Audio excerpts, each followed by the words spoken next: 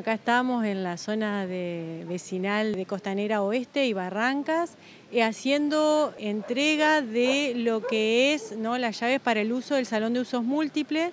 Es importante destacar que esta obra eh, fue presentada y votada por los vecinos de, esta zona vecinal y fue una de las obras que el intendente Adán Bala al principio de su gestión decidió no dejar truncado eh, eh, todo el, empeño que pusieron los vecinos y las vecinas de la zona y concretar la obra. Así que hoy, bueno, estamos enmarcando lo que es el Salón de Usos Múltiples dentro de la ordenanza municipal que regula su uso y, bueno, haciendo entrega a los vecinos para que ellos luego puedan hacer uso ¿no? de este salón gestionando las actividades que ellos crean convenientes eh, para el uso de la comunidad. Para nosotros es un orgullo porque es algo que veníamos esperando desde el, desde el año 2015 y con el cual tenemos la expectativa de poder traer aquí también eh, capacitaciones eh, y, y, algo para los chicos, para los gurises, para que ellos puedan aprender, eh, así que es algo muy lindo. Hemos tenido muchas respuestas de parte del municipio y de esta gestión